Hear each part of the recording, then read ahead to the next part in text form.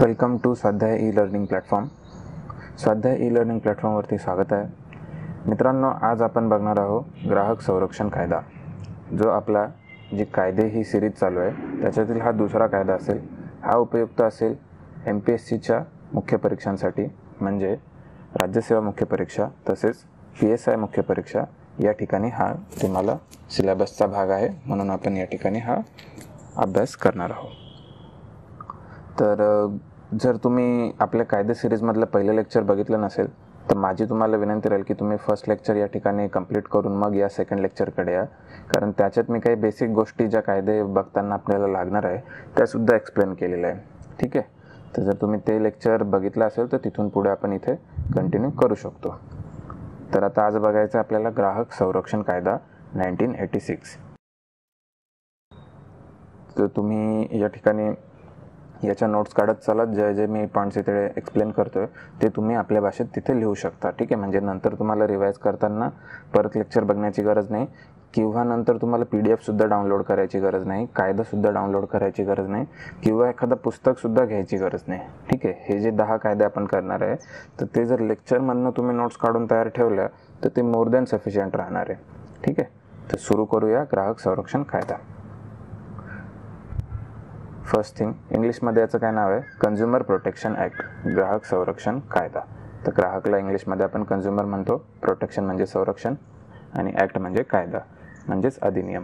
ठीक आहे? त्याला शॉर्ट फॉर्म आहे कोपरा. तर हे तुम्हाला नोट डाऊन करायचं आहे first point consumer protection act second point काय नोट डाऊन करायचं आहे की याची अंमलबजावणी एन्फोर्समेंट कधीपासून झाली? तर ती डेट आहे चोवीस डिसेंबर एकोणीसशे शहाऐंशी. ठीक आहे चोवीस डिसेंबर एकोणीसशे शहाऐंशी. तर याच्या आधीचा जो आपण कायदा बघितला होता एन्व्हायरमेंट प्रोटेक्शन ॲक्ट तो सुद्धा एकोणीसशे शहाऐंशी याच वर्षी अंमलात आला होता. आणि हा कन्झ्युमर प्रोटेक्शन ॲक्टसुद्धा याच वर्षी अंमलात आला. पण तो त्याची डेट होती नोव्हेंबरमधली. ठीक आहे?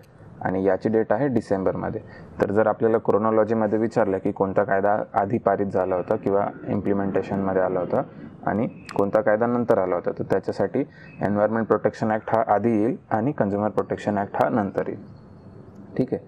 याचं ऑब्जेक्टिव्ह काय? आहे? आता बघा कुठलाही कायदा करत असताना आपण त्या कायद्याचे काही ऑब्जेक्टिव्स नोट डाऊन करत असतो.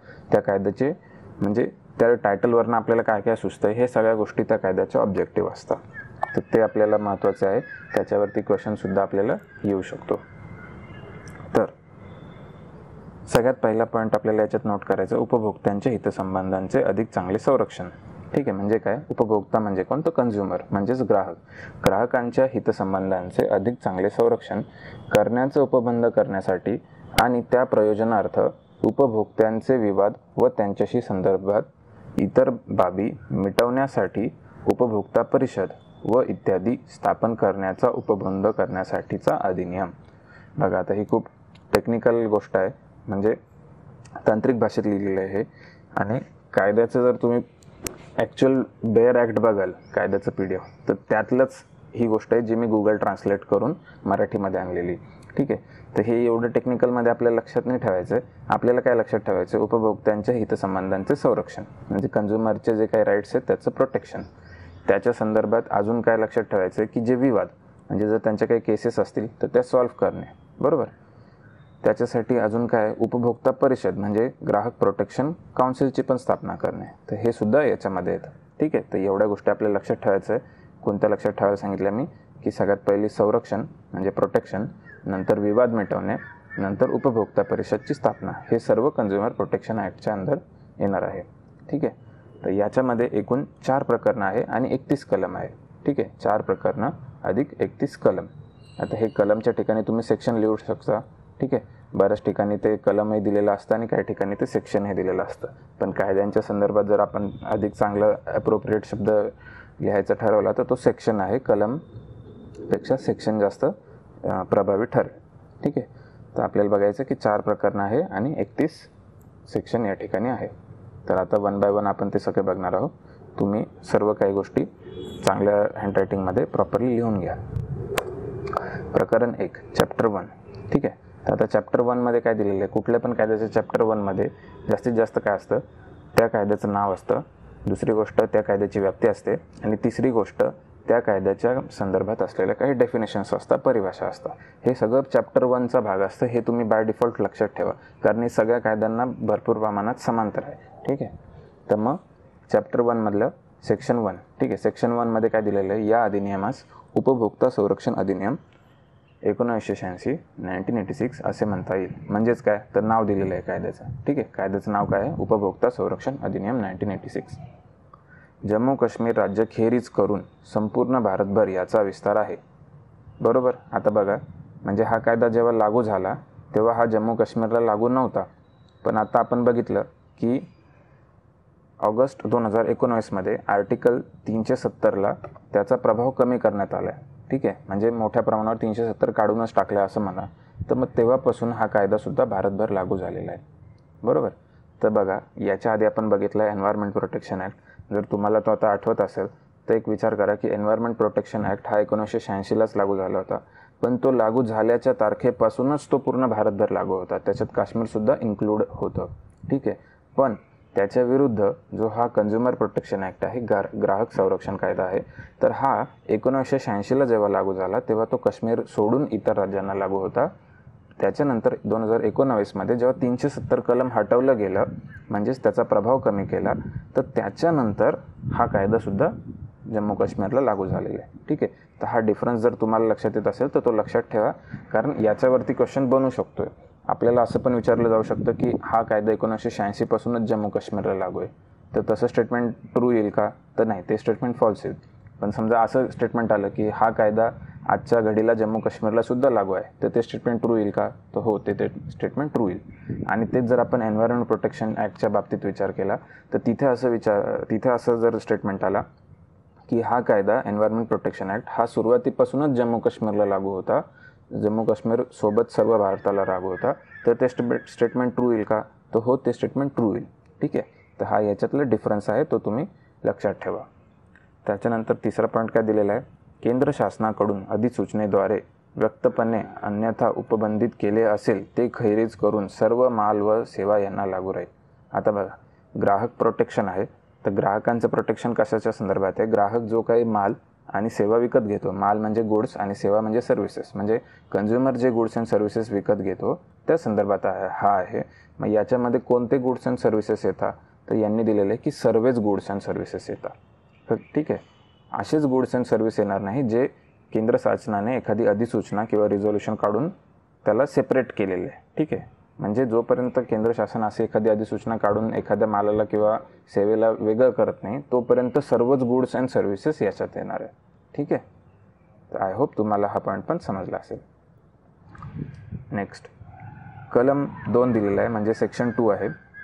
तर सेक्शन टूमध्ये आपल्याला बघायचं काय काय व्याख्या आहे. ठीक आहे? तर याच्यामध्ये ह्या ए बी सी डीप्रमाणे व्याख्या दिलेल्या आहेत. याचंच मराठी ट्रान्सलेशन जर तुम्ही असलं तर हे क ख ग घ नुसार अशा व्याख्या दिलेल्या आहे ठीक आहे? तर तिथे आपण कन्फ्यूज होतो कारण क ला आपण याला मराठीत आपण असं समजू शकतो की हे अ ब क ड असं हवं. पण ते जर ॲक्च्युअल मराठीत बघितलं तर ते क ख ग घ असतं. मग त्याच्यामुळे आपण कुठे कन्फ्यूज होऊ शकतो? सीला कन्फ्यूज होऊ शकतो. म्हणजे तिथे क लिहिलेलं असेल आपल्याला असं वाटेल की यार क म्हणजे काय आहे? तर सी आहे. ठीक आहे? पण क त्यांच्या दृष्टीने ए असणार आहे कारण तो पहिला आहे. तर हे जे एवढे गोंधळ टाळायचे असतील ठीक आहे. तर माझं मत राहील की तुम्ही हे इंग्लिशमध्येच नोट डाऊन करा आणि इंग्लिशमध्येच लक्षात ठेवा. आणि पेपरला सुद्धा जे आपल्या पेपरमध्ये इंग्लिश ट्रान्सलेशन येतं त्या ठिकाणी बघून तो क्वेश्चन अटेम्प्ट करा. ठीक आहे. मराठीच्या भरोशावर जाऊ नका. कारण इथे खूप मिस्टेक होता. कारण एम पी एस सी स्वतः मराठीमध्ये टाईप करत नाही पेपर ते मराठीमध्ये ट्रान्सलेट करून घेता पेपर जो बनतो तो इंग्लिशमध्येच बनतो. त्यामुळं आपण सुद्धा लक्षात ठेवताना इंग्लिशमध्येच ठेवू. म्हणून मी ह्या डेफिनेशन डायरेक्टली इंग्लिशमध्येच दिलेले आहे. ठीक आहे. तर आता टू एमध्ये काय डेफिनेशन आहे? दोन अमध्ये काय डेफिनेशन आहे? ठीक आहे तर ते बघू. टू एमध्ये काय आहे? समुचित प्रयोगशाळा. केंद्र राज्य मान्यता प्राप्त. ठीक आहे समुचित प्रयोगशाळा म्हणजे काय? प्रयोगशाळा म्हणजे काय? तर लॅब ठीक आहे तर लॅबोरेटरीचे प्रयोजन कुठे आहे? टू एमध्ये आहे. तर जस्ट हे आपल्या लक्षात ठेवायचं आणि याला कोण मान्यता देऊ शकतं? केंद्र किंवा राज्य सरकार दोन्ही देऊ शकतं. टू बीमध्ये काय दिलेलं आहे? तक्रारदारची डेफिनेशन दिली. तक्रारदार कोण असू शकतो? ग्राहक स्वतः असू शकतो. किंवा ग्राहकांच्या काही संस्था असू शकतात केंद्रसुद्धा एखाद्या प्रोडक्ट विरुद्ध तक्रार करू शकतं. राज्य सरकारसुद्धा करू शकतं. काही लोकांचा ग्रुप असू शकतो. किंवा एखादा तक्रारदार आहे त्याची जर डेथ झाली असेल एखाद्या प्रोडक्टच्या वापरामुळे तर त्याचा वारससुद्धा त्या प्रोडक्टविषयी तक्रार करू शकतो. मग हे सर्व तक्रारदारच्या डेफिनेशनमध्ये हे सर्व लोक येतात. ठीक आहे? तर तुम्ही तक्रारदार आणि त्याच्या पुढे डॅश करून हे पॉईंट लिहून घ्या.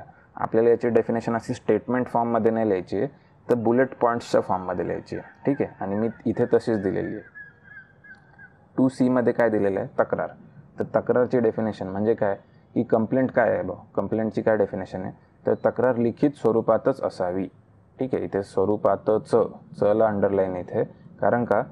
ओरली तुम्ही तक्रार नाही करू शकत. तुम्हाला रिटर्नमध्येच तक्रार द्यायची तर हा पॉईंटसुद्धा लक्षात ठेवण्यासारखा आहे. त्याच्यानंतर टू डीमध्ये काय दिले ग्राहकची डेफिनेशन दिली. म्हणजे उपभोक्ता कोण असेल कन्झ्युमर कोण असेल. तर त्याच्यामध्ये दोन पॉईंट्स आहे आपल्याला लक्षात ठेवायचे. पहिला काय आहे? वस्तू व सेवा घेणारा. ठीक आहे? आता जो घेणारा आहे तर तोच ऑफकोर्स उपभोक्ता असेल. जो देणारा आहे तो उपभोक्ता येईल का?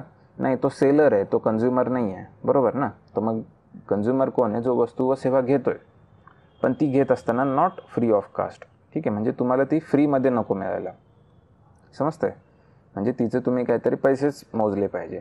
जर तुम्हाला एखादी गोष्ट फ्री ऑफ कॉस्ट मिळत असेल आणि तिच्यामध्ये जर काही डिफेक्ट आलं तर आणि तिच्याविषयी तुम्हाला तक्रार करायची आहे तर ती तुम्ही करू नाही शकत. कारण मग तुम्ही ग्राहकाच्या व्याख्यात येत नाही कारण तुम्ही ती फ्री ऑफ कॉस्ट घेतलेली गोष्ट. ठीक आहे? समजलं? त्याच्यानंतर व्यावसायिक उद्देश नसावा. ठीक आहे? आता हे प्रदेश नाही आहे इथे उद्देश आहे. व्यावसायिक उद्देश नसावा. म्हणजे नॉट फॉर रिसेल तर हे जे दोन ब्रॅकेट्समध्ये दिले आहे ना ह्या गोष्टी पण तुम्ही लिहून घ्या. की नॉट फॉर रिसेल म्हणजे काय? की आता एखादा समजा मी एखादी गोष्ट विकत घेतली आहे आणि ती मी पुढं जाऊन विकतोय ठीक आहे? आणि मग नंतर मलाच समजतंय की त्या गोष्टीमध्ये डिफेक्ट होता. तर मी तक्रार करू शकतो का? तर नाही कारण मी ती रिसेल केली आहे. रिसेल करण्यासाठी मी त्या ठिकाणी कन्झ्युमर बनत नाही. मी ज्याला दिली आहे अल्टिमेटली तो त्या ठिकाणी कन्झ्युमर बनेल कारण त्याने ती घेतलेली स्वतःसाठी. समजतंय? म्हणजे मिडलमॅन जो येईल किंवा एखादा माणूस स्वतः विकत घेऊन त्याचा काहीतरी व्यावसायिक प्रोफेशनल यूज करत असेल आणि दुसऱ्याला विकत असेल तर तो त्या ठिकाणी कन्झ्युमरच्या डेफिनेशनमध्ये येत नाही. म्हणजे रिसेल करणारा आणि फ्री ऑफ कॉस्ट घेणारा हे कन्झ्युमरच्या डेफिनेशनमध्ये येत नाही हे आपल्याला लक्षात ठेवायचं ठीक आहे? टू ईमध्ये e काय दिलेलं आहे? उपभोक्ता विवाद म्हणजे कन्झ्युमर डिस्प्यूट ठीक आहे? डिस्प्यूट दिलेला आहे. डिस्प्यूटची काय डेफिनेशन आहे? जिच्या विरुद्ध फिर्याद करण्यात आलेली आहे ती व्यक्ती.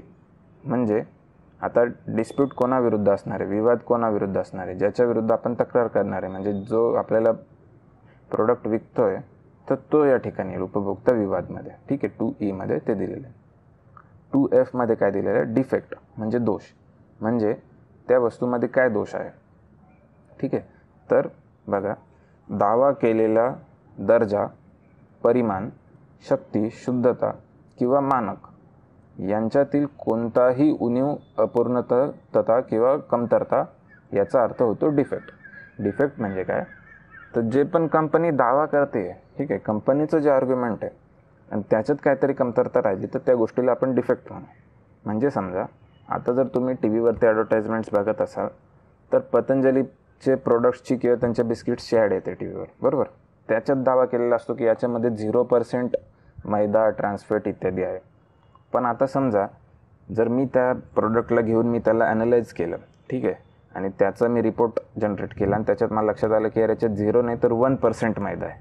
ठीक आहे? आता बघा तिथे फरक किती पडतो आहे एकच पर्सेंटचा पडतो आहे पण दावा केल्यापेक्षा तर ते कमीच आहे ना? येतं का लक्षात? तर मग अशा प्रोडक्ट विरुद्ध मी तक्रार करू शकतो कारण तो त्याच्यात दोष सिद्ध होईल. समजलं? तर दोष याला म्हणतात. आणि मी हे समजण्यासाठी एक्झाम्पल दिले. मी असं काही सांगितलेलं नाही आहे की कोणत्या प्रोडक्टमध्ये डिफ डिफेक्ट असेल किंवा नसेल. समजण्यासाठी तुम्हाला हे एक्झाम्पल दिलेलं आहे. टू आयमध्ये काय डेफिनेशन आहे? हा आय आहे वस्तू. वस्तूंची डेफिनेशन दिलेली आहे टू आयमध्ये म्हणजे गुड्स मग गुड्स कोणते आहे? तर एक सेल ऑफ गुड्स नावाचा ॲक्ट होता एकोणीसशे तीसचा याच्या अंतर्गत जितके गुड्स येतात ते सगळे गुड्स इथे पण इन्क्लुडेड आहे. ठीक आहे? गुड्सच्या डेफिनेशनमध्येच काय दिलं आहे की सेल ऑफ गुड्स नावाचा ॲक्ट आहे एकोणीसशे तीसचा त्याच्या अंतर्गत येणारे सगळे गुड्स हे गुड्सच्या व्याख्येत आहे. नेक्स्ट टू ओमध्ये काय आहे? सेवा. म्हणजे काय? तर सर्व्हिसेस सर्व्हिसेसमध्ये काय येतं? आपण समजा रेस्टॉरंटमध्ये जातो बरोबर? तिथे आपण जेवण करतो किंवा खोली भाड्याने घेतो आहे किंवा मोबाईलचं रिचार्ज मारतो आहे किंवा इंटरनेट ॲक्सेस करतो आहे ह्या सगळ्या झाल्या सर्व्हिसेस हे काही आपल्याला काही प्रोडक्ट नाही मिळते ना? हे सर्व्हिस मिळते आपल्याला. तर यांना आपण सेवा म्हणतो. मात्र टू ओमध्ये सेवाचा अर्थ काय आहे? संभाव्य उपभोगकर्त्याला उपलब्ध करून दिली जाणारी कोणत्याही वर्णनाची सेवा असून परंतु कोणतीही सेवा विनामूल्य किंवा वैयक्तिक सेवेचा समावेश होत नाही. आता इथं आपल्या लक्षात काय ठेवायचं की विनामूल्य असणारी सेवा या ठिकाणी येत नाही. आणि दुसरी गोष्ट वैयक्तिक सेवा म्हणजे पर्सनल सेवा या ठिकाणी येत नाही. मग आता विनामूल्य म्हणजे काय? आता समजा तुम्ही रेल्वे स्टेशनवरती गेले आणि तिथे फ्री ऑफ कॉस्ट तुम्ही वायफाय ॲक्सेस करताय. बरोबर. फ्री ऑफ कॉस्ट तुम्हाला वायफाय मिळतं ती झाली विनामूल्य सेवा. आता वायफाय म्हणजे तुम्हाला इंटरनेट मिळतं फ्री ऑफ कॉस्ट मग आता समजा त्याच्यात तुम्हाला स्पीड कमी लाभतोय बरोबर. तर याची तक्रार तुम्ही तिथे ऑथॉरिटीकडे नाही करू शकत. कारण तिथे तुम्हाला फ्री ऑफ कॉस्ट मिळाली ना. मग त्याच्या क्वालिटीविषयी तुम्हाला जजमेंट घेण्याचा काय अधिकार नाही. समजलं? आणि वैयक्तिक सेवा म्हणजे काय? वैयक्तिक सेवा म्हणजे समजा आता ती आपली हाऊसहोल्ड सेवा असते ठीक आहे. मग त्याच्यामध्ये दोन व्यक्तींमधलं समजा काही संबंध आहे त्याच्यावरून कोणी कोणाला मदत करत आहे तर ते सगळं वैयक्तिक सेवेच्या अंडर येईल ठीक आहे. तर आपल्याला लक्षात काय ठेवायचं आहे सेवामध्ये सर्व सेवा इन्क्लुडेड आहे पण ज्या विनामूल्य असतील किंवा वैयक्तिक सेवा असतील त्या इन्क्लुडेड नाही. हे दोन कीवर्ड आपल्याला या ठिकाणी लक्षात ठेवायचे ठीक आहे. जर तुमचं इथलं काही लिहायचं राहिलं असेल तर तुम्ही व्हिडिओला पॉज करून ते पूर्ण नोट डाऊन करू शकता मग पुढे रिझ्यूम करू शकता. ठीक आहे. असा विचार नका करू की मी स सलग एक व्हिडिओ बघून घेतो आणि नंतर मी याचं पी डी एफ डाउनलोड करून मग त्यातनं नोट्स काढतो. कारण ते तुम्ही करणार नाही. ठीक आहे. हे मला माहिती. आपण आज करतो. तर त्याच्यामुळे सोबतच लिहून घ्या. म्हणजे तुमचं एकाखट्टीच होऊन जाणार आहे मी याचं पी डी एफ टेलिग्राम चॅनलला शेअर करणार आहे. निश्चित करणार आहे. पण तुम्ही त्या भरोशावर नका राहू की यार मी पी डी एफमधनं लिहून घेईल आणि आता जस्ट समजून घेतो. हे सोबत कराल तर जास्त बेनिफिशियल राहील. प्रकरण दोन. आता चॅप्टर दोनमध्ये काय? ठीक आहे. चॅप्टर दोनमध्ये दिलेलं आहे ग्राहक संरक्षण परिषद. ग्राहक प्रोटेक्शन काउन्सिल कन्झ्युमर प्रोटेक्शन काउन्सिल्सविषयी दिलेलं आहे. ठीक आहे. इथे आपल्याला परिषद हा शब्द लक्षात ठेवायचा आहे. परिषद याला अंडरलाईन करा. त्यालाच इंग्लिशमध्ये काउन्सिल म्हणता. ठीक आहे. आता मी त्याचा डिफरन्स सांगतो की मी का लक्षात ठेवायला लावले तर सगळ्यात पहिले तुम्ही चार नंबरचं सेक्शन बघा. चार नंबरच्या सेक्शनमध्ये काय दिलं आहे की केंद्रीय परिषद सेंट्रल काउन्सिल तर आता याची स्थापना कोण करेल? तो ऑफकोर्स केंद्र सरकार करेल. बरोबर हे थोडंसं कॉमन सेन्सने पण जमेल की केंद्र सरकारद्वारे स्थापना. याचा चेअरमन कोण असेल? ह्या केंद्रीय परिषदेचा चेअरमन असेल मंत्री कन्झ्युमर अफेअर्स मिनिस्टर ठीक आहे तुम्हाला माहिती आहे की कन्झ्युमर अफेअर्स ग्राहक संरक्षण नावाचं मंत्रालय आपल्याकडं असतं केंद्रात पण असतं आणि राज्यात पण असतं. आणि त्याला एक कोणीतरी मंत्री असाईन केलेला असतो. तर तो मंत्री बाय डिफॉल्ट जी सेंट्रल प्रोटेक्शन काउन्सिल आहे हिचा चेअरमन असेल. ठीक आहे जसं आपल्याला माहिती आहे की भारताचे उपराष्ट्रपती व्हाईस प्रेसिडेंट हे बाय डिफॉल्ट राज्यसभेचे पदसिद्ध अध्यक्ष आहे. बरोबर? हे जसं ते त्या पदावर आहे म्हणून ते पदसिद्ध आहे. तर तसंच इथे पण आहे की कन्झ्युमर अफेअर्स मिनिस्टर हा पदसिद्ध चेअरमॅन आहे सेंट्रल प्रोटेक्शन काउन्सिलचा ठीक आहे? तर हे दिलेलं आहे चारमध्ये ठीक आहे? सेक्शन चारमध्ये हे दिलेलं आहे. सेक्शन पाचमध्ये काय दिलेलं आहे बघा? वर्षातून किमान एकदा भेटावे. तर म्हणजे यांची किमान किती मीटिंग व्हायला पाहिजे एका वर्षात? एक. तर एकदाला सुद्धा तुम्ही अंडरलाईन करू शकता. कारण का? बघा आपल्याकडे पार्लमेंटचं मीटिंगसाठी काय प्रयोजन आहे? की पार्लमेंटच्या दोन मिटिंग्समध्ये सहा महिन्यापेक्षा जास्त अंतर नसावं अशी कॉन्स्टिट्यूशनमध्ये प्रोव्हिजन तर तशीच प त्याच प्रकारे इथे विचार करू शकतो की यांच्यासाठी ॲक्टमध्ये काय प्रोव्हिजन दिली आहे? की सेंट्रल प्रोटेक्शन काउन्सिलने वर्षातनं ॲटलिस्ट एकदा भेटावं. ॲट मॅक्स किती पण वेळेला भेटू शकता पण कमीत कमी एकदा भेटलं पाहिजे. म्हणजे एकदा त्यांची मीटिंग व्हायला पाहिजे. उद्दिष्ट काय आहे? ऑब्जेक्टिव्ह काय आहे? तो ऑब्जेक्टिव्ह ब्रॉड असणार आहे. ग्राहकांचे अधिकार. प्रमोट प्रोटेक्ट करणे कोणते अधिकार? माहितीचा अधिकार संरक्षणाचा अधिकार कॉम्पिटेटिव्ह प्राईसचा अधिकार ऐकून घेण्याचा अधिकार तक्रार निवारणाचा अधिकार शिक्षणाचा अधिकार. आता हे ग्राहकांचे अधिकार प्रोटेक्ट करायचे तर कोणते अधिकार? मग ग्राहकांना माहिती पाहिजे. की जे ते प्रोडक्ट घेत आहे त्याची पूर्ण डिटेल इन्फॉर्मेशन त्यांना माहीत पाहिजे. मॅन्युफॅक्चरिंग डेट माहीत पाहिजे एक्सपायरी डेट माहीत पाहिजे कोणते त्याच्यामध्ये केमिकल्स इन्वॉल्ड आहे काय काय हे सगळं. संरक्षणाचा अधिकार. म्हणजे असं नाही की एखादं प्रोडक्ट गा ग्राहकाला हानिकारक असेल आणि ते त्याला विकलं जात आहे तर ते पण नाही झालं पाहिजे. कॉम्पिटेटिव्ह प्राईसचा अधिकार. म्हणजे त्याला त्या एम आर पीवरती सुद्धा तोलमोल करता आलं पाहिजे.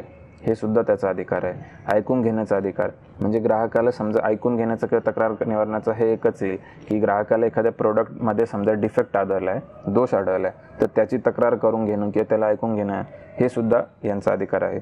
शिक्षणाचा अधिकार. म्हणजे ग्राहकाला अवेअर करण्यासाठीचे जे वेगवेगळे कॅम्पेन्स चालतात टी व्हीला आपण बघतो यांच्या ॲड येतात जागो ग्राहक जागरो वगैरे. हे सगळं कन्झ्युमर शिक्षणासाठी कन्झ्युमरच्या अवेअरनेससाठी तर तो सुद्धा ग्राहकांचा अधिकार आहे. ठीक आहे? आणि या सगळ्या अधिकारांचं प्रोटेक्शन करण्याचं काम कोणाचं दिलेलं आहे?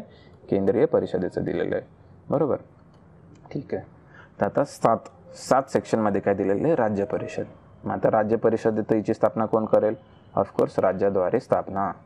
ठीक आहे? याचा मंत्री इथे कोण असणार आहे बघा? तर मंत्री इथे तोच असेल की जो आपला राज्यामधला कन्झ्युमर डिपार्टमेंटचा जो मिनिस्टर असेल तर तो याचा बाय डिफॉल्ट चेअरमन असणार आहे. प्लस इतर सदस्य असणार.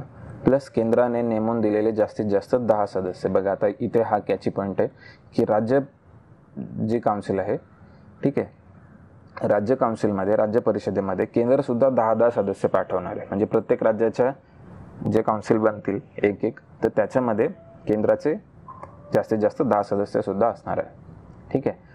यांची मीटिंग किती आहे? वर्षातनं दोन वेळा भेटलं पाहिजे. बघा. तिकडे किती होतं? इथे किती होतं? जे सेंट्रल काउन्सिल आहे यांचं वर्षातून एकदा भेटायचं यांचं मीटिंग होती. ठीक आहे? आणि यांचे किती वर जास्तीतनं वर्षातनं किमान दोन वेळा भेटलं पाहिजे. ठीक आहे? तर हा डिफरन्स लक्षात ठेवा. इथे तुम्ही ट्रॅप होऊ शकता. क्वेश्चन इथे बनू शकतो. ठीक आहे? इथलं दोन वेळाचं तिकडं विचारलं जाऊ शकतं आणि तिकडचं एक वेळाचं इकडं विचारलं जाऊ शकतं. तर ते एक्झॅक्ट कोणतं काय आहे ते लक्षात ठेवा. सेक्शन आठमध्ये काय दिलेलं आहे? सेक्शन आठमध्ये दिले आहे उद्दिष्ट. मग उद्दिष्ट काय? आहे? म्हणजे केंद्राचे जे उद्दिष्ट होते ते सेमच इथे लागू होतात जशीच्या तसे. ठीक आहे? सेक्शन आठ ए आठ ए महत्त्वाचा आहे हा तुम्हाला लक्षात ठेवायचा आहे. जिल्हा संरक्षण परिषद डिस्ट्रिक्ट प्रोटेक्शन काउन्सिल याची स्थापना कोण करेल? ऑफकोर्स डिस्ट्रिक्ट तर राज्य करेल. इथे असं नाही लक्षात ठेवायचं की डिस्ट्रिक्ट तर मग डिस्ट्रिक्टच स्थापना करेल. जसं केंद्राची स्थापना केंद्र करतंय राज्याची स्थापना राज्य करतंय मग जिल्ह्याची स्थापना जिल्हा करेल. नाही नाही नाही. जिल्ह्यावरती अशी कोणती वेगळी बॉडी नसते. जिल्ह्यामधले जे प्रोटेक्शन काउन्सिल आहे त्याची स्थापना करणार आहे राज्य सरकार. त्या तो जिल्हा ज्या राज्यात येते. आणि यांनी वर्षातून किती वेळा भेटायचं? यांनी वर्षातून दोन वेळा भेटायचं. आहे बरोबर? समजलं? हे आणि हे कॉमन आहे. यांचं दोन वेळा आणि यांचं दोन वेळा कॉमन आहे. पण जे सेंट्रलचं आहे तर त्या ठिकाणी वर्षातनं एकदा मीटिंग आहे त्यांना. आय होप तुम्हाला हे सगळे सेक्शन समजले असतील. ठीक आहे? आता प्रकरण तीन आहे. चॅप्टर तीन. आता चॅप्टर तीनमध्ये काय आहे? आता बघा इतक्यात आपण जे बघितलं ना हे प्रोटेक्शन काउन्सिल आहे. म्हणजे इथे मंत्री वगैरे हे लोक इन्वॉल्ड आहे. इथे जाऊन तुम्ही तक्रार निवारण नाही करू शकत. समजा तुम्ही ॲज अ कन्झ्युमर आहे तुम्ही तक्रार डायरेक्ट जिल्हा मंचमध्ये नाही जाऊ शकत किंवा सॉरी जिल्हा प्रोटेक्शन काउन्सिलमध्ये नाही जाऊ शकत. बरोबर? किंवा राज्य प्रोटेक्शन. यांचं काम काय आहे? यांचं ओव्हरऑल काम आहे की पॉलिसी फॉर्म्युलेशन करणं. म्हणजे यांचं ब्रॉड काम आहे. ठीक आहे? पण तुम्ही प्रो का तक्रार निवारणासाठी कुठं जाऊ शकता? तर त्याच्यासाठी ह्या तीन बॉडीज आहे. बरोबर? पहिली बॉडी आहे जिल्हा मंच दुसरी बॉडी आहे राज्य आयोग आणि तिसरी बॉडी आहे राष्ट्रीय आयोग. आता इथे आयोग आहे याचा इंग्लिशमध्ये काय होतं? आयोगाचा अर्थ कमिशन होतो. बरोबर? तर तिथे मी तुम्हाला काउन्सिल लक्षात ठेवायला काय लावलं? त्याचं हेच रिझन आहे की काउन्सिल आणि कमिशन ह्या दोन वेगळ्या गोष्टी आहे हे आपल्याला इथे मेंटल लेवलला समजलं पाहिजे. आपण ह्या दोघांमध्ये कन्फ्यूज नको व्हायला कारण या दोघांच्या प्रोव्हिजन्स वेगळ्या आहे कामं वेगळे स्थापना वेगळ्या आर्टिकल पण वेगळे आहे ठीक आहे? तर राज्य आयोग राष्ट्रीय आयोग हे राज्य परिषद आणि राष्ट्रीय परिषद याच्यापेक्षा वेगळे आहे. ठीक आहे? कमिशन काउन्सिल कमिशन काउन्सिल तर हे तुम्ही लक्षात ठेवा. आता बघा ज्या ठिकाणी तुम्ही नोट्स काढताय तर तिथे जर तुमच्याकडे खाली पेजमध्ये जर जागा उरलेली असेल तर तेवढं तुम्ही सोडून द्या आणि एक फ्रेश पेजवरती हा एक टेबल बनवा. कारण बघा हा टेबल खाली तीन स्लाईडमध्ये ही एक स्लाईड आहे. त्याच्यानंतर अजून एक स्लाईड आहे. तर हे माझी काय अपेक्षा आहे की तुम्ही हे सगळं एकाच पानात बनवावं. ठीक आहे? एका पानात एका एक पूर्ण पेज याला द्या. त्याच्यामध्ये फ्रेश पेजमध्ये पूर्ण हे असंच असं लिहून घ्या. म्हणजे याच्यातनं तुमचे बरेचसे एम सी क्यू सॉल्व्ह होणार आहे. ठीक आहे? आपल्याला हे एवढ्या गोष्टी लिहून घ्यायच्या याच्यामध्ये. आणि हे मी तुम्हाला सांगतो की हे मी स्वतः बनवलेलं आहे आर्टिकल वाचून वाचून. तर हे तुम्हाला कुठल्याच पुस्तकामध्ये ठीक आहे कुठलंही मार्केटमधलं कुठलंही अवेलेबल पुस्तक घ्या किंवा कायद्याच्या पी- कोणत्याही पी डी एफमध्ये तुम्हाला एवढं डिटेल असं टेबल वाईज रचना करून नाही मिळणार. ते तुम्हाला एक एक लाईन बाय लाईन असं प्रोव्हिजन्समध्ये देता आणि त्याच्याने आपण अजून कन्फ्यूज होऊन जातो ठीक आहे. टेबलमध्ये बनवल्यामुळे ना तुम्हाला रिवाईज करताना खूप बेनिफिशियल होणार आहे ठीक आहे.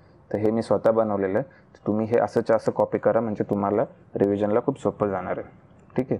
तर करायचं काय आहे? फ्रेश पेजवरती चार कॉलम बनवायचे. पहिला कॉलम असणारे पॉईंटसाठी त्याच्यानंतर दुसरा कॉलम असणारे जिल्हा मंच म्हणून तिसरा कॉलम असणारे राज्य आयोग म्हणून आणि चौथा कॉलम असणारे राष्ट्रीय आयोग म्हणून. ठीक आहे? तर तुम्ही पॉजसुद्धा करू शकता व्हिडिओ जर तुम्ही मागे राहिला असाल किंवा तुम्ही स्लो चाललेला असाल तर मी हे एकामागे एक्सप्लेन करतो आहे तुम्ही माझ्यासोबतच लिहून घ्या. थोडंसं व्हिडिओ पॉज केला तरी चालेल मध्ये मध्ये. ठीक आहे? तर जिल्हा मंच म्हणजे काय? जिल्हा मंच दिलेला आहे कलम नाईन एमध्ये ठीक आहे? जिल्हा मंच दिला आहे नाईन एमध्ये राज्य आयोग म्हणजे स्टेट कमिशन दिलं आहे नाईन बीमध्ये आणि नाईन सीमध्ये दिलं आहे राष्ट्रीय आयोग म्हणजेच नॅशनल कमिशन ठीक आहे? तर मग इथे आपल्या लक्षात काय ठेवायचं आहे याच्यामध्ये एक कॅची पॉईंट काय आहे? सेक्शन टेनमध्ये एक कॅची पॉईंट दिलेला आहे. सेक्शन टेनमध्ये काय दिलेलं आहे? की एका जिल्ह्यामध्ये एकापेक्षा अधिक करू शकेल. म्हणजे जिल्हा मंच हे एखाद्या जिल्ह्यामध्ये एकापेक्षा जास्त अधिक असू शकता. म्हणजे समजा एखादा मोठा जिल्हा असला समजा आता ठाणे जिल्हा आहे हा खूप मोठा जिल्हा आहे तर अशा ठिकाणी फॉर एक्झाम्पल की एकापेक्षा जास्त जिल्हा मंच स्थापन केले जाऊ शकता. ठीक आहे मी तर शक्यता सांगतोय शकता. असं नाही आहे की कंपल्सरीली केले पाहिजे. ठीक आहे पण ते करण्याचा अधिकार आहे ते प्रोव्हिजन आहे. ठीक आहे मग तसंच इथे दिलेलं आहे का हो? राज्य एका राज्यामध्ये एकापेक्षा जास्त तर नाही. किंवा राष्ट्रीय लेवलला एकापेक्षा जास्त तर नाही. ह्या बॉडीज एक एकच असणार आहे. ठीक आहे हे राज्य लेवलला एकच बॉडी असणार आहे आणि ही नॅशनल लेवलला पण एकच बॉडी असणार आहे. पण जिल्ह्यामध्ये प्रोव्हिजन आहे की ते तुम्ही करू शकता. ठीक आहे? तर तुम्हाला हे लक्षात ठेवायचं एका जिल्ह्यामध्ये एकापेक्षा अधिक जिल्हा मंच हे स्थापन केले जाऊ शकतं जिल्हा मंच. ठीक आहे? मग नियुक्ती. जिल्हा मंचमध्ये जे पण काही पदाधिकारी आहे यांची नियुक्ती कोण करेल? तर ऑफकोर्स राज्य सरकार करेल. ठीक आहे? इथे जिल्हाने लक्षात ठेवायचं आहे. नाही तर तुम्ही कन्फ्यूज कराल की जिल्ह्यामध्ये जिल्हा शासन नियुक्ती करेल. जिल्हा शासन असं काही नसतं. ठीक आहे? राज्य आयोगामध्ये नियुक्ती कोण करेल? तर राज्य सरकार करेल. की राष्ट्रीय आयोगामध्ये नियुक्ती कोण करते तर केंद्र सरकार करते ठीक आहे? यांची रचना काय आहे? One plus two one plus two one plus three. म्हणजे टोटल तीन मेंबर आहे. त्याच्यात एक चेअरमन आहे आणि दोन मेंबर आहे. टोटल इथे किती आहे? तीन मेंबर आहे. त्याच्यात एक चेअरमन आहे आणि दोन मेंबर आहे. टोटल इथे किती आहे? चार मेंबर आहे. त्याच्यात एक चेअरमन आहे आणि तीन मेंबर आहे. ठीक आहे? तर हे पण आपल्याला लक्षात ठेवायचं आहे. याच्यानंतर अध्यक्ष. आता याचा अध्यक्ष कोण होऊ शकतो? बरोबर? अध्यक्ष होऊ शकतो जिल्हा न्यायाधीश किंवा जिल्हा न्यायाधीश पदासाठी पात्र असणारी व्यक्ती. हा याचा अध्यक्ष होऊ शकतो. म्हणजे हा कोण आहे? तर हा याचा अध्यक्ष म्हणजे ही जी वनवाली व्यक्ती आहे तीही होऊ शकते. उच्च राज्य आयोगाचा अध्यक्ष कोण होऊ शकतो? उच्च न्यायालयाचा न्यायाधीश किंवा यापूर्वी उच्च न्यायालयाच्या न्यायाधीशपदी काम केलेली कोणतीही व्यक्ती म्हणजे ही कोण तर ही ही व्यक्ती होऊ शकते जी एक इथे दिलेली. सर्वोच्च न्यायालय राष्ट्रीय आयोगामध्ये कोण होऊ शकतो? सर्वोच्च न्यायालयाचे न्यायाधीश किंवा त्या पदावर यापूर्वी काम केलेली व्यक्ती. म्हणजे कोण? तर ही जी एकवाली व्यक्ती आहे तीही होऊ शकते. समजलं? म्हणजे अध्यक्ष कोण होतोय? तर त्याच्या क्रायटेरिया दिलेला आपल्याला. आता इथे बघा इथे उच्च न्यायालयाचं चीफ जस्टिस दिलं आहे का हो? हे वाचा तुम्ही. उच्च न्यायालयाचं काय दिलेलं आहे आपण या ठिकाणी? उच्च न्यायालयाचं न्यायाधीश दिलं आहे बरोबर? उच्च न्यायालयाचं चीफ जस्टिस दिलं आहे का? नाही. तर चीफ जस्टिस वेगळा असतो न्यायाधीश वेगळा असता. तर हे आपल्याला लक्षात ठेवायचं आहे तसंच सर्वोच्च न्यायालयाचा न्यायाधीश. इथे चीफ जस्टिस ऑफ इंडिया दिलं आहे का? नाही. तर न्यायाधीश दिले तर न्यायाधीशच लक्षात ठेवायचं. ठीक आहे इथे तुम्हाला कन्फ्यूज करण्यासाठी याचा असं विचारलं जाऊ शकतं की राष्ट्रीय आयोगाचा अध्यक्ष हा चीफ जस्टिस ऑफ इंडिया असतो. नाही चीफ जस्टिस ऑफ इंडिया नाही जज ऑफ सुप्रीम कोर्ट. किंवा त्या पदावर पूर्वी काम केलेली व्यक्ती. समजलं? चीफ जस्टिस आणि जज हे दोन वेगळ्या गोष्टी असतात. जज एकच जज तेहतीस असतं सुप्रीम कोर्टामध्ये आणि चीफ जस्टिस एकच असतो. आणि न्याय उच्च न्यायालयांमध्ये पण तसंच असतं वेगवेगळी संख्या असू शकते. पण जो चीफ जस्टिस आहे तो एकच असतो आणि इतर जजेस असतात न्यायाधीश असतात. ठीक आहे? तर आय होप तुम्ही हे पॉईंट्स लिहिले असणार आणि तुम्हाला हे सर्व समजलं असेल. नेक्स्ट मग आता सदस्य आहे. तर हे सदस्य वरतीच आपण बघितलं दोन आहे. दोनपैकी एक महिला असावी. बरोबर? त्याच्यानंतर इथे किती आहे? दोनपैकी एक महिला असावी. इथे किती आहे? चारपैकी एक महिला असावी. ठीक आहे? आता इथे चार म्हणजे ना ॲक्च्युली इथे तीनच पाहिजे कारण हे सदस्य आहे. ठीक आहे? आणि सदस्यांमध्ये अध्यक्ष इन्क्लूड जर केला तर ते तीन होता. ठीक आहे? जर आपल्याला टोटल रचनेमध्ये जर एकूण सदस्य विचारले तर ते तीन येतील. इथे तीन येतील. सॉरी इथे तीन येतील जर एकूण सदस्य विचारले. इथे तीन येतील एकूण सदस्य विचारले. आणि इथे चार येतील जर एकूण विचारले तर. पण अध्यक्ष सोडून जर सदस्य विचारले तर आपल्याला एक एक कमी करावं लागेल. आणि बघा प्रत्येक ठिकाणी एक एक महिला असायला पाहिजे हे पण महत्त्वाचं आहे हे तुम्ही लक्षात ठेवा. एक महिला तर असायलाच पाहिजे. ठीक आहे? त्याच्यानंतर पदावधी किती आहे यांचा? पाच पासष्ट सहा पाच सदुसष्ट आणि पाच सत्तर. आता हे काय आहे? तर एक तर पाच वर्ष ते काम करू शकता किंवा पासष्ट वर्ष वय झालं की ते रिटायर होऊन जातील. या दोघांपैकी जे आधी होईल तेवढाच त्यांचा कालावधी राहील. एक तर पाच वर्ष सलग काम करू शकता किंवा सदुसष्ट वर्ष वय झालं की ते रिटायर होऊन जातील. इथे पण एक तर पाच वर्ष काम करू शकता नाही तर सदुसष्ट सॉरी सत्तर जर वय झालं तर ते रिटायर होऊन जातील. म्हणजे काय? या दोघांपैकी जे पण आधी येईल तर त्या ठिक ठिकाणी ते रिटायर होऊन जातील. तिथपर्यंतच ते काम करू शकतात. एक तर पाच वर्ष किंवा पासष्ट एज एक तर पाच वर्ष किंवा सदुसष्ट एज एक तर पाच वर्ष किंवा सत्तर एज ठीक आहे? नेक्स्ट पॉईंट काय आहे? पुनर्नियुक्तीस पात्र आहे का? रिअपॉइंटमेंट होऊ शकते का? नो नसतील. नो नो तिन्ही ठिकाणी रिअपॉइंटमेंट नाही आहे. ठीक आहे? राजीनामा. जर त्यांना राजीनामा द्यायचा आहे तर ते कोणाला संबोधून देतील? तर जिल्हा मंचाचे सदस्य देतील ऑफकोर्स राज्य सरकारला संबोधीन. राज्य मंचाचे को कुठे देतील तर ते पण राज्य सरकारला संबोधून. आणि केंद्र मं जे नॅशनल लेवलचं काउन्सिल आहे सॉरी कमिशन आहे तिथले कोणाला देतील तर केंद्र सरकारला संबोधीन. ठीक आहे? वेतन आणि भत्ते तर कोण देईल? राज्य शासन देईल. इथे पण राज्य शासन देईल आणि इथे केंद्र शासन देईल. ओके? आता यांची निवड समिती. बरोबर? आता बघा निवड समिती म्हणजे काय? की आता हे जे मेंबर्स आपण इथे बघितले हे बघा इथे हा जो अध्यक्ष बघितला हा एक झाला. किंवा इथे आपण हे सदस्य बघतोय हे सदस्य दोन ठीक आहे. तर हे लोकांना आपण कोण करेल? तर त्याच्यासाठीची जी निवड समिती आहे तर त्याच्या प्रोव्हिजन्स आहे. बघा आता इथलं अध्यक्ष कोण असणार आहे निवड समितीचा? जिल्हा मंचचा अध्यक्ष नाही बरं का? जिल्हा मंचमध्ये कोण अध्यक्ष राहील हे निवड समितीचं अध्यक्ष ठरवेल. मी परत एकदा सांगतो तुम्ही कन्फ्यूज झाले असाल. हे बघा. अध्यक्षासाठी जिल्हा मंचाचा जो अध्यक्ष आहे तर याच्यासाठी जी निवड समिती आहे म्हणजे हे जी जिल्हा मंचाचे जे अध्यक्ष आहे तर यांची बात नाही चालली. यांना अपॉइंट कोण करेल यांना आणि यांच्या सदस्यांना. तर त्याच्यासाठीची जी समिती आहे तर तिच्यासाठी कोण कोण मेंबर आहे ते दिलेलं आहे इथे. मग राज्य आयोगाचा अध्यक्ष हा इथे मेंबर असेल आणि सदस्य कोण असतील?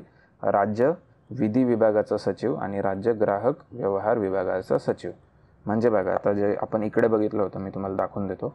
इथे आपण राज्य आयोग बघितलं होतं. सॉरी राज्य परिषद बघितलं होतं. बरोबर? एक सेकंड हां इथे नाही इथे बघितलं होतं. तर हा जो राज्य आयोगाचा अध्यक्ष आहे ठीक आहे?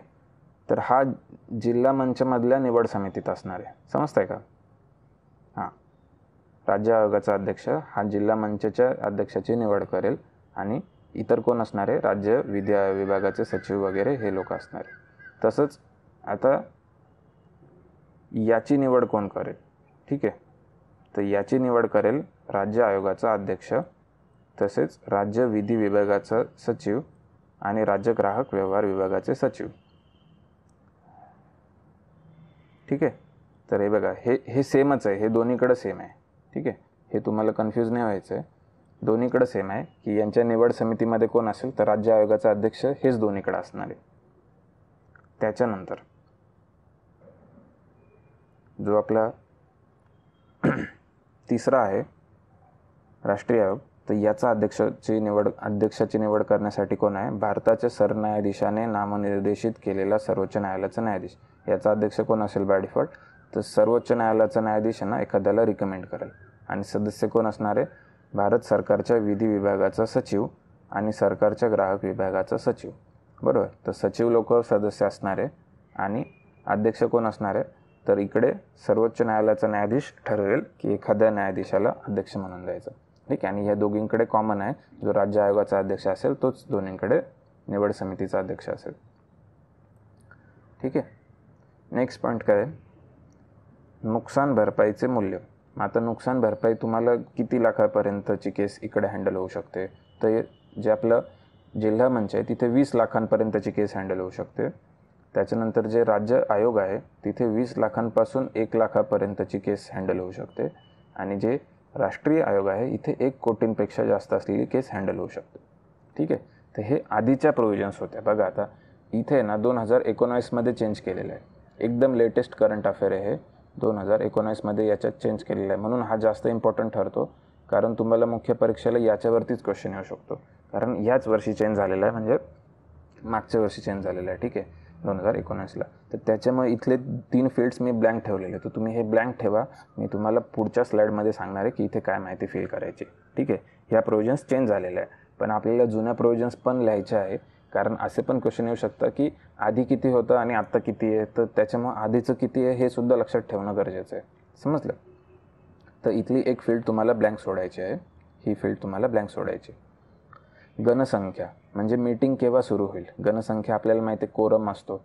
मग अध्यक्ष व एक सदस्य अध्यक्ष व एक सदस्य अध्यक्ष व एक सदस्य हे तिन्हीकडे कॉमन आहे. ठीक आहे? म्हणजे एक तर अध्यक्ष उपस्थित पाहिजे आणि एक सदस्य जरी असला तरी तुम्ही मीटिंग कंडक्ट करू शकता. अपील.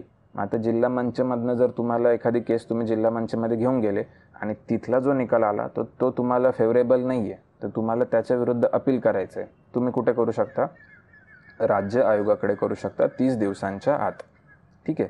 म्हणजे इथलं अपील तुम्ही इकडं करू शकता. समजतंय? इथलं अपील कुठं करू? आता समजा हीच केस राष्ट्र राज्य आयोगाकडनं तुम्हाला जो निकाल पाहिजे तसा नाही आला. तर तुम्ही राष्ट्रीय आयोगाकडे करू शकता तीस दिवसांच्या आत म्हणजे इथली केस तुम्ही इकडं अपील करू शकता. आणि समजा राष्ट्रीय आयोगाने तुम्हाला निकाल दिला आणि त्याच्याही विरोधात तुम्हाला जायचं आहे तर तुम्ही कुठे जाऊ शकता? सर्वोच्च न्यायालयाकडे जाऊ शकता तीस दिवसात. ठीक आहे? Supreme court. ठीक आहे? समजतंय? का अपील कुठे कुठे करू शकतो? जे जिल्हा मंच आहे त्याचे अपील राज्य आयोगाकडे जे राज्य आयोग आहे त्याचे अपील राष्ट्रीय आयोगाकडे आणि जे राष्ट्रीय आयोगाची जे निकाल असेल त्याची अपील सुप्रीम कोर्टाकडे. आणि मग सुप्रीम कोर्ट जो डिसिजन देईल तो फाईल नंतर आहे. त्याच्या पुढे अपील नाही. ठीक आहे? आता अपील करणाऱ्या व्यक्तीने अपील करायचं असेल तर काहीतरी त्याच्यासाठी प्रोविजन दिलेलं आहे. अशा आदेशाच्या पन्नास टक्के रक्कम किंवा पंचवीस हजार यापैकी जी रक्कम कमी असेल ती रक्कम भरल्याशिवाय राज्य आयोग अपील दाखल करणार नाही. म्हणजे बघा आता इथे जिल्हा मंचकडे तुम्ही गेले आणि जिल्हा मंचाने समजा असं होतं आहे की माझी एखादी कंपनी मी एखादं प्रोडक्ट विकतो आहे माझं समजा एखादा साबण बनवण्याचा कारखाना आहे मी तो साबण बनवतो आहे आणि एखादा ग्राहक आहे तर त्याने त्या साबणामध्ये काहीतरी डिफेक्ट शोधला आहे आणि त्याने माझ्यावरती केस केली आहे पन्नास हजाराची. ठीक आहे? आणि तो केस घेऊन गेला जिल्हा जिल्हा मंचाकडे. मग आता बघा हे वीस लाखांपेक्षा कमी आहे त्याच्यामुळे तो इथे जाऊ शकतो. बरोबर? मग जिल्हा मंचाने मला नुकसान भरपाई त्याला देण्यासाठी आदेश दिला. मला सांगितलं की पन्नास हजार रुपये भरा. ठीक आहे? म्हणजे पन्नास हजार रुपये नुकसान भरपाई त्या व्यक्तीला द्या. कारण तुमच्या प्रॉडक्टमध्ये डिफेक्ट आहे. मग आता मला जिल्हा मंचचा निकाल फेवरेबल नाही मला असं वाटतं की नाही यार हा माझ्यावर अन्याय आहे. माझं तर सगळं फेवरेबल आहे. मग जर मला राज्याकडे आयोग क राज्य आयोगाकडे म्हणजे इथे अपील करायची ठीक आहे? तर मग मला काय करावं लागेल? अपील इथे तेव्हाच ॲक्सेप्ट होईल जेव्हा मी त्या पन्नास हजार रकमेच्या पन्नास टक्के किंवा पंचवीस हजार यापैकी जे कमी असेल ते. आता ते जे कॅल्क्युलेशन जे जशी जशी अमाऊंट असेल तसं वेगवेगळं बनेल. आपल्या केसमध्ये या एक्झाम्पलमध्ये पन्ना पन पंचवीस हजारच बनतं आहे ठीक आहे? तर मला आधी काय करावं लागेल? मला पंचवीस हजार रुपये भरावे लागतील. ठीक आहे? डिपॉझिट म्हणून. तरच माझी केस इकडचा राज्य राज्य आयोग घेईल. समजलं? मग आता परत मीच ती केस घेऊन राज्य आयोगात गेलो. सेम राज्य आयोगाने पण माझ्यावरती जे होतं काय म्हणता पंचवीस हजार रुपयाचा दंड तो कायम ठेवला. कारण माझ्या साबणामध्ये डिफेक्ट आढळला. तर मग मला त्याच्या विरुद्ध परत राष्ट्रीय आयोगात घेऊन जायचं की मी नाही भरणार. म्हणजे पंचवीस हजार माझ्या प्रोडक्टमध्ये काही डिफेक्ट नाही तर अशा वेळी मला काय करावं लागेल? की अशा वेळी मला आदेशाच्या पन्नास टक्के रक्कम किंवा पस्तीस हजार यापैकी जी रक्कम कमी आहे आता इथे पन्नासच होते त्याच्यामुळे मला परत पंचवीस हजार या ठिकाणी भरावे लागतील. समजतं आहे का? तरच मी पुढे जाऊन केस घेऊ शकतो. आणि मग अशी केस राष्ट्रीय आयोग केव्हा ॲक्सेप्ट करेल? जेव्हा आदेशाच्या पन्नास टक्के रक्कम किंवा पन्नास हजार यापैकी जे कमी असेल ती रक्कम भरल्याशिवाय राज्य आयोग अपील दाखल इथे राज्य नाही आहे ठीक आहे इथे राष्ट्रीय आयोग अपील दाखल करणार नाही. समजतं आहे हां तर हे अपील करण्यासाठी हे जे आकडे हे आपल्याला लक्षात ठेवायचे कोणत्या ठिकाणी किती आहे? इथे क्वेश्चन बनवू शकतो. आय होप तुम्हाला समजलं असेल. आता आपण बघतोय प्रकरण चार. प्रकरण चारमध्ये काय दिलेलं आहे? की पुढचं काय प्रोविजन दिलेलं आहे? आता बघा इथे डायरेक्ट चोवीसपासून प्रोविजन चालू होतं आहे आता ह्यामधल्या तुम्ही म्हणशाल की आपण जे इकडे बघितलं इथे आठ एला थांबलो आणि त्याच्यानंतर डायरेक्ट चोवीसला चालू होतो आहे बरोबर? तर हे सगळ्यामधल्या ज्या प्रोविजन्स आहे ह्या मी टेबल फॉर्ममध्ये बनवले तेच जर तुम्हाला मी असं line by line provision by provision दिलं असताना ते खूप कन्फ्युजिंग झालं असतं. आणि तुम्ही एक माझ्यावर ट्रस्ट ठेवा की याच्यामधल्या प्रोविजन्सवरती तुम्हाला क्वेश्चन नाही येणार. म्हणजे इथे तुम्हाला सेक्शन नंबर नाही विचारलं जाणार. इथे तुम्हाला डिटेल प्रोविजन्स विचारले जाणार आहे. म्हणून हा टेबल इथे लक्षात ठेवणं गरजेचं आहे. ज्या ठिकाणी सेक्शन नंबर विचारण्याची शक्यता होती ते आपण सेक्शन वाईज केलेले म्हणजे जसं की मला असं वाटतं की आठ एवरती क्वेश्चन येऊ शकतो जास्त करून. तर मी आठ एला सेपरेट ठेवलेले आहे. समजलं? इथे तुम्हाला सेक्शनवरती क्वेश्चन नाही विचारला जाणार. इथे तुम्हाला प्रोविजन्सवरती क्वेश्चन विचारला जाईल. त्यामुळे ह्या प्रोविजन्स तुम्ही ह्या टेबल फॉर्ममध्ये लक्षात ठेवा ह्या जास्त बेनिफिशियल राहणार. मग आता बघू ट्वेंटी फोर चोवीस नंबरचं सेक्शन काय अपील केले नसेल तर प्रत्येक टप्प्यावरील आयोगाचे आदेश अंतिम. आता समजा एखाद्याने अपीलच केलं नाही पुढं तर तो जो आदेश दिला गेला तो अंतिम राहणार. म्हणजे इथे मला काय होतं तर समजा मी माझीच केस जे मागाशी एक्झाम्पल म्हणून आपण घेतली की मी साबण बनवणारी कंपनी आहे आणि माझ्यावर पंचवीस पन्नास हजार रुपयाचा दंड भरायला लावलेला आहे आणि मी अपील केलं नाही राज्य आयोगाकडे तीस दिवसांमध्ये बरोबर? तर याचा अर्थ माझ्यावर जो पन्नास हजारचा दंड आहे तो फायनल झाला आणि मला तो भरावाच लागेल. त्याच्यानंतर चोवीस एमध्ये काय दिलं आहे दोन वर्षांच्या आत तक्रार करावी. ठीक आहे. म्हणजे आता असंही नाही की तुम्ही एखादं प्रोडक्ट तुमचं जन्म झाला त्यावेळी घेतलं होतं आणि नंतर तुम्ही चोवीस पंचवीस वयाचे झाला आणि मग तुम्ही ते जन्म झालेल्या प्रोडक्टवरती जर तक्रार करायला गेला तर ते असं काही होणार नाही. दोन वर्षाच्या आतच तक्रार करायची. चोवीस बीमध्ये काय प्रत्येक वरच्या टप्प्यातील आयोगाला खालच्या टप्प्यातील आयोगावरती नियंत्रण. आता इथे बघा इथे कोण कोणावर नियंत्रण ठेवतं आहे बघा इथे नियंत्रण राष्ट्रीय आयोग ठेवेल राज्य आयोगावरती. ठीक आहे? आणि राज्यावर नियंत्रण ठेवेल जिल्हा मंचावरती. समजतंय? तर हेच दिलेलं आहे इकडच्या चोवीस बीमध्ये ठीक आहे? पंचवीसमध्ये काय दिलं आहे मालमत्ता जप्ती. आदेश पाळले गेले नाही तर तीन महिन्यांसाठी जप्ती आणि त्यानंतर पण पाळले गेले नाही तर लिलाव. आता बघा परत माझीच केस आठवा. माझ्या एक्झाम्पलमध्ये मी काय दिलं होतं? की माझी साबण बनवण्याची फॅक्टरी आहे. माझ्यावर पन्नास हजारचा दंड ठोकवला आहे जिल्हा मंचाने. आता मी त्याचं अपील पण केलं नाही. माझ्याकडे होती प्रोव्हिजन तीस दिवसांच्या आत अपील करायचं. मग मी अपील केलं नाही तर चोवीसनुसार काय झालं? चोवीसनुसार माझ्यावरती ते जे दंड झालेला आहे ते ते आदेश अंतिम राहिले. आता त्याच्याविरुद्ध मला अपील करण्याची प्रयोजन नाही. बरोबर? मग आता समजा मी ते पन्नास हजार रुपये भरतच नाही आहे तर जी माझी जी फॅक्टरी आहे, तर ती तीन महिन्यांसाठी जप्त केली जाईल. ठीक आहे? त्याच्यानंतर पण मी भरले नाही. तर ते माझ्या फॅक्टरीचा लिलाव करून त्या माणसाला पन्नास हजार रुपये दिले जातील. समजतंय का? तर मालमत्ता जप्तीचा अधिकार दिलेला आहे पंचवीसमधील. सव्वीसमध्ये काय दिलेलं आहे? खोट्या फ्रीवेलियस तक्रारी जास्तीत जास्त दहा हजार रुपये दंड. आता बघा परत माझीच केस आठवा. माझी साबण बनवण्याची फॅक्टरी आहे. एखाद्याने खोटी केस केली आणि ते जिल्हा मंचाकडे गेली आणि त्यांना लक्षात आलं की यार हे करणाऱ्यानेच खोटी केस केलेली आहे. असं काही याच्या प्रोडक्टमध्ये डिफेक्ट नाही आहे असं त्यांना आढळलं. तर तो जो खोटी केस करणार आहे त्याच्या विरुद्ध दहा हजार रुपयाचा दंड जिल्हा मंच ठेवू शकतं. समजलं? हे दिलं आहे सव्वीसमध्ये. नेक्स्ट हे जर तुम्ही लिहायचं राहिलं असेल तर तुम्ही व्हिडिओ पॉज करू शकता आणि याला कंप्लीट करू शकता. ठीक आहे? सत्तावीसमध्ये काय दिलं आहे बघा? सत्तावीसमध्ये दिलं आहे एक महिना ते तीन वर्षापर्यंत कारावास किंवा दोन हजार रुपये ते दहा हजार रुपयेपर्यंत दंड किंवा दोन्ही. आता ही शिक्षा महत्त्वाची आहे. आता मी समजा मला दिलेले आदेश पाळत नाही आहे ठीक आहे? तर मला शिक्षाही होऊ शकते. ठीक आहे? माझी प्रॉपर्टी तर जप्त होईलच. पण समजा असं नाही आहे की नुसतं प्रॉप काय म्हणता एखाद्या व्यक्तीचं त्याच्यात असं नुकसान झालं की जे पैशाच्या फॉर्ममध्ये भरून येणारं सारखं नाही आहे ठीक आहे? म्हणजे हेल्थला काही प्रॉब्लेम झाला. आता इथे तर माझी साबणाची फॅक्टरी होती म्हणून चाललं. पण तेच समजा माझी फार्मास्युटिकलची फॅक्टरी असते आणि एखादं टॅबलेट वगैरे काहीतरी फॉल्टी निघालं असतं आणि त्याच्यातनं कोणाला हेल्थमध्ये प्रॉब्लेम झाला असता. तर नुसतं मला दंड करून चाललं असतं का? नाही. मग त्या ठिकाणी मला शिक्षा पण द्यावी लागली असती. तर मग ती शिक्षा किती ते किती असू शकते? एक महिना ते तीन वर्षापर्यंत कारावास. किंवा दोन हजार रुपये ते दहा हजार रुपयेपर्यंत दंड किंवा दोन्ही. ठीक आहे? तर हे होऊ शकतं. हे दिलं आहे सत्तावीसमध्ये. ज्युडिशियल मॅजिस्ट्रेट क्लास वनचे अधिकार. हे कोण दंड ठोठावेल? Judicial magistrate class one. ठीक आहे? म्हणजे क्लास वनचा जो आपला न्यायाधीश आहे ज्युडिशियल मॅजिस्ट्रेट. एक्झिक्युटिव्ह मॅजिस्ट्रेट म्हणजे जिल्हाधिकारी पण ज्युडिशियल मॅ मॅजिस्ट्रेट म्हणजे न्यायाधीश. तर त्यांना अधिकार दिलेले. ठीक आहे? सर्व गुन्ह्यांसाठी समरी ट्रायल करता येते. आता समरी ट्रायल हा शब्द आहे ना तुम्ही बऱ्याच ठिकाणी कायद्यांमध्ये वाचाल. ठीक आहे?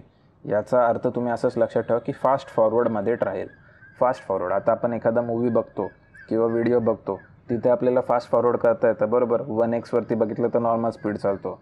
हाच व्हिडिओ जर तुम्ही यूट्यूबला बघताय तर इथे खाली सेटिंगमध्ये जाऊन तुम्ही वन पॉईंट फाईव्ह किंवा टू एक्स केलं तर तो फास्ट फॉरवर्ड होईल. म्हणजे तो पटकन संपेल. बरोबर? तर तसं याच्या अंतर्गत होणाऱ्या सर्व गुन्ह्यांसाठी समरी ट्रायल करता येते. म्हणजे तो गुन्हा पटकन शीघ्रगतीने चालवता येतो. त्याला म्हणतो आपण समरी ट्रायल सत्तावीस एमध्ये काय दिलं आहे अपील करण्याचे टप्पे ठरलेले इतर कोर्टात जात येत नाही. ठीक आहे? इतर कोर्टात नाही जाऊ शकत. म्हणजे जिल्हा सत्र न्यायालय वगैरे हे यांच्याकडेच जायचं आहे आणि सर्व अपील तीस दिवसांच्या आत करायचं आहे तर ते आपण वरच्या प्रोविजन्समध्ये बघितलं आहे प्रत्येक ठिकाणी तीस दिवसाच्या आत अपील करणं गरजेचं आहे. याच्यानंतर आपल्याला काय आहे? तीसमध्ये दिलेलं आहे केंद्र आणि राज्याला नियम बनवण्याचा अधिकार. ठीक आहे? इथे बघा राज्याला पण नियम बनवण्याचा अधिकार आहे. आता तुम्ही एन्व्हायरमेंट प्रोटेक्शन ॲक्ट ॲक्ट आठवा जो मी याच्या आधीच्या व्हिडिओमध्ये कवर केला तिथे नियम बनवण्याचा अधिकार कोणाला होता? ओनली केंद्र. ओनली केंद्र विल फॉर्म रूल्स इथे कोणाला आहे? केंद्र आणि राज्याला नियम बनवण्याचा अधिकार. ठीक आहे? तर मग असं कंपेअर करून लक्षात ठेवा तर ते जास्त लाँग टाईम लक्षात राहील. तीस एमध्ये काय दिलं आहे राष्ट्रीय आयोगाला अधिकार. आता जो नॅशनल कमिशन आहे त्याला नियम बनवण्याचा अधिकार दिले केंद्राच्या संमतीने. केंद्राच्या संमतीने जो आपला राष्ट्रीय आयोग आहे जो आपण इथे हा बघितलेला आहे बघा हा जो राष्ट्रीय आयोग आहे हा याला अधिकार दिलेले नियम बनवण्याचे. ठीक आहे. आता हे झालं तीस ए. ठीक आहे. याच्यानंतर आता काही ना फॅक्ट्स असे डिस्क्रिट फॉर्ममध्ये ठिकठिकाणी वेगवेगळे दिले होते त्याला मी इथे टेबल बनवून लिहिलेलं आहे. तर हे पण तुम्ही नोट डाऊन करा. याच्यावर क्वेश्चन आलेले आहे प्रिव्हियस इयरमध्ये तर तक्रार प्रक्रिया आणि किती हे. तर तक्रार ॲडमिट करून घ्यायची असेल तर ती एकवीस दिवसाच्या आत केली पाहिजे. ठीक आहे? म्हणजे समजा मी जिल्हा मंचकडे गेलो तक्रार घेऊन तर त्यांनी मला एकवीस दिवसांच्या आत माझी तक्रार ॲक्सेप्ट करायची. त्याच्यानंतर तक्रारीची कॉपी आरोपीला द्यायला तक्रार स्वीकारल्यानंतर आता ज्याच्यावरती आरोप आहे तर त्याला पण तक्रारीची कॉपी दिली गेली पाहिजे ना. मग त्याला पण दिवस ठरलेले एकवीस दिवसांच्या त्याला गेली दिली गेली पाहिजे. म्हणजे कसं आता मगाचं माझं एक्झाम्पल आठवा. माझी साबणाची फॅक्टरी आहे आणि कोणीतरी माझ्यावरती केस केली आहे. बरोबर? मग आता जो केस करणार आहे तो झाला तक्रारी. बरोबर? किंवा तक्रारदार. आणि मी झालो आरोपी या ठिकाणी. मग आता मला जर त्या आरोपपत्राची कॉपी पाहिजे असेल तर ती मला एकवीस दिवसाच्या आत देणं बंधनकारक आहे. ती एकवीस दिवस कोणते पण तक्रार स्वीकारल्यानंतरचे एकवीस दिवस. ठीक आहे? समजलं? आणि त्याची तक्रार जो तक्रार घेऊन गेला आहे ती जिल्हा मंचला ॲडमिट करण्यासाठी किती दिवस आहे? जास्तीत जास्त एकवीस दिवसाच्या आत त्यांना ती ॲडमिट करून घ्यायची. समजतंय? फरक? आरोपीला आपले म्हणणे मांडायला किती दिवस आहे? आता बघा परत माझंच एक्झाम्पल आठवा. माझ्यावरती तक्रार झाली तर माझ्यावरती तक्रार झाली तर मला माझं म्हणणं ठेवायला काहीतरी दिवस दिले गेले पाहिजे ना की मी माझं काय पॉईंट येतो तर त्याला तीस दिवस आहे. आणि अजून प्लस पंधरा दिवस आहे. म्हणजे समजा काही प्रॉब्लेम आला तर पंधरा दिवस एक्सटेंड करून पण दिले जाऊ शकतात. लॅबमधील टेस्टिंग आता ते साबूनमध्ये डिफेक्ट आहे हे बघण्यासाठी तो तो साबून लॅबमध्ये टेस्टिंगसाठी पाठवावा लागेल. असं तर नाही की तक्रारदार म्हणतोय डिफेक्ट आहे म्हणून डायरेक्ट डिफेक्ट अज्युम करता येईल. मग आता लॅबमधल्या टेस्टिंगसाठी किती दिवस आहे? पंचावन्न दिवस. ठीक आहे? हे फॅक्ट्स तुम्हाला लक्षात ठेवायचे. याच्यात मी तुम्हाला दाखवणार की याच्यावरती प्रिव्हियस इयरमध्ये क्वेश्चन आलेलं आहे. म्हणून तर हे मी सगळं असं व्यवस्थित टेबलमध्ये करून दिलेलं आहे. आणि हे तुम्ही परत परत दोन तीन चार वेळेस वाचाल तर पाठ होऊन जाईल. एवढं काय अवघड नाही. पहिल्यांदा थोडंसं हार्ड वाटेल पण दुसऱ्या तिसऱ्या टायमाला हे सोपं होऊन जाईल. नेक्स्ट लॅब टेस्टिंग नसणारी तक्रार निकालात काढणे. आता बघा एखादं असं प्रोडक्ट जिथे लॅब टेस्टिंगची गरज नाही तर अशी तक्रार निकालात काढण्यासाठी किती महिने दिलेले? तीन महिने. म्हणजे जिल्हा मंचाने तीन महिन्यांच्या आत निकाल तक्रारात काढायची. अपील वेगळं आहे हां ठीक आहे. अपीलला तीस दिवस आहे. ते तुम्ही लक्षात ठेवा. पण निकाल देण्यासाठी तीन महिने. आणि लॅब टेस्टिंग लागणारी तक्रार निकालात काढणे. आता बघा परत माझं एक्झाम्पल आठवा. साबण बनवण्याची फॅक्टरी तर तिथे लॅब टेस्टिंग लागणार आहे. मग तिच्यासाठी किती आहे? निकालात काढण्यासाठी पाच महिने. ठीक आहे? तक्रार करायचा अवधी. हा किती आहे? दोन वर्ष. बरोबर? हा आपण इथे बघितला होता. ही प्रोविजन आठवा. चोवीस ए नंबरची प्रोविजन बरोबर? चोवीस ए नंबरची प्रोविजन काय? दोन वर्षाच्या तक्रार करावी. म्हणजे आज तुम्ही प्रोडक्ट घेतलं आहे तर जास्तीत जास्त त्याच्यामधला डिफेक्ट असेल तर तुम्ही दोन वर्षाच्या आत तक्रार करू शकता. त्याच्यानंतर तुम्हाला जाग आली की ते प्रोडक्ट खराब होतं वगैरे तर तुम्ही त्याची तक्रार करू शकत नाही. ठीक आहे? हे दोन वर्ष. अपील साथीचा अवधी. अपील करायचा अवधी किती? तीस दिवस आहे. प्रत्येक टप्प्यावरती पुढे जाण्यासाठी तीस दिवसांच्यात अपील करायची. तक्रार चुका सुधार. आता समजा एखाद्याने तक्रार केली आहे पण त्याला त्या तक्रारीत सुद्धा नंतर काहीतरी सुधारणा करायची की तक्रार करताना काहीतरी चुकलं आहे त्याच्याकडनं. तर ते करण्यासाठी त्याला दिलेले आहे पंधरा दिवस. ठीक आहे? हे पंधरा दिवस. तर आय होप तुम्हाला हा टेबल समजला असेल. हे सगळे पॉईंट्स ना या आर्टिकल्समध्ये वेगवेगळ्या ठिकाणी असे छोटे छोटे प ठिकाणी मेन्शन केलेले होते. मी ते सगळे असे फॅक्ट्स एका साईडला काढून त्याचं टेबल बनवून दिलेलं आहे. ओके असंच लक्षात ठेवा हे जास्त सोपं आहे. मग आता amended in two thousand two आता बघा हा एकोणीसशे शहाऐंशीचा कायदा आपण बघितला. शहाऐंशीच्या कायद्यानुसार काय होतं की तुम्हाला केस करायची तर तुम्हाला कोणती फी नव्हती लागत. ठीक आहे? तुम्ही डायरेक्ट केस करू शकत होते. पण दोन हजार दोनमध्ये एक अमेंडमेंट आली आणि प्रत्येकाला केस करण्यासाठी काहीतरी फीज आकारली जाऊ लागली. तर ती फीज किती आहे ती प्रत्येक फोरममध्ये वेगवेगळी तर ती आपल्याला हा टेबलसुद्धा लक्षात ठेवायचा आणि हे दोन हजार दोनसुद्धा लक्षात ठेवायचं. कारण याच्यावरती डायरेक्ट राज्यसेवेला प्रिव्हियस इयरमध्ये क्वेश्चन आलेलं आहे. हे कोणत्या साली अमेंडमेंटमध्ये करण्यात आलं? तर दोन हजार दोन. तर बघा मी थोडं फास्ट घेतो आहे तुम्ही व्हिडिओ पॉजही करू शकता जर तुम्हाला. स्लो माझं स्पीड जास्त वाटत असेल तर. ठीक आहे. तर टेबलमध्ये काय लिहायचं आहे तुम्हाला? Total value of goods and services and compensation claim and the amount payable ठीक आहे. आता ही जी टोटल व्हॅल्यू होती ना ही हीच आहे बघा. ही जी आपण इथे बघितली की नुकसान भरपाईचे मूल्य कितीपर्यंत आहे? तर वीस लाख वीस ते एक कोटी एक कोटीपेक्षा जास्त. तर ही हीच व्हॅल्यू ठीक आहे. म्हणजे जर तुमची तक्रार एवढा याची असेल तर तुम्ही कुठे जाऊ शकता? सगळ्यात पहिले बघा डिस्ट्रिक्ट फोरममध्ये जर up to one lakh rupees तुमची तक्रार आहे आणि for complainants who are below poverty line and Antyodaya Anna Yojana card तर त्यांच्यासाठी फी किती आहे? नील आहे. बघा जर एक लाखा रुपयापर्यंत तक्रार आहे आणि तुम्ही बी पी एलशी कॅटेगरीशी बिलॉंग करता तर तुम्हाला फी शून्य रुपये तुम्हाला फी भरावी नाही लागणार. जर एक लाखपासून तर हां जर एक लाखापर्यंत आहे फॉर ऑदर दॅन अंत्योदय अन्य अन्य योजना कार्ड म्हणजे असे कंप्लेनंट्स की ज्यांची एक लाखापर्यंत आहे पण ते बिलो पॉवर्टी लाईन किंवा अंत्योदय योजनेच्या अंतर्गत येत नाही. तर अशा व्यक्तींना शंभर रुपये फी आहे. ठीक आहे hundred above one lakh to five lakh एक लाख ते पाच लाखपर्यंत जर तुमचा क्लेम असेल तर फी किती आहे? दोनशे रुपये. Above five lakh to ten lakh fee किती आहे? चारशे रुपये. बरोबर? Above ten lakh up to twenty lakh fee किती आहे? पाचशे रुपये. समजलं? मग एवढा जर तुमचा क्लेम असेल हा सगळा डिस्ट्रिक्ट फोरम म्हणजे जिल्हा मंचाच्याच अंदर येतो बरोबर? आपल्याला माहिती आहे की वीस लाखापर्यंत जिल्हा मंचाच्या अंडर येतं. मग त्याच्यासाठी वेगवेगळ्या फीज दिलेल्या आहे मग हे पाठ करायची गोष्ट आहे. याच्यात काय असं कन्सेप्च्युअली एक्सप्लेन करण्यासारखं नाही. स्टेट कमिशन राज्य आयोग त्याच्यासाठी किती आहे? आठवा तिकडे.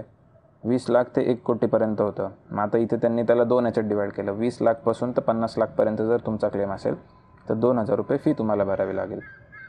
त्याच्यानंतर पन्नास लाखापासून एक करोडपर्यंत जर तुमचा क्लेम असेल तर तुम्हाला चार हजार रुपये फी भरावी लागेल. आणि याच्यानंतर एक कोटीपेक्षा पुढच्या केसेस कुठं जात होत्या राज्य आयोगाकडे म्हणजे नॅशनल कमिशनकडे सॉरी राष्ट्रीय आयोगाकडे म्हणजे नॅशनल कमिशनकडे अबो वन करोड.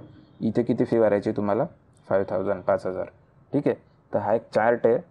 कोणत्या अमाऊंटसाठी किती फीज आहे? तर हे तुम्ही लक्षात ठेवा. ठीक आहे? आणि लिहूनच घ्या म्हणजे जास्त लक्षात राहील. याच्यावरती क्वेश्चन आलेला आहे.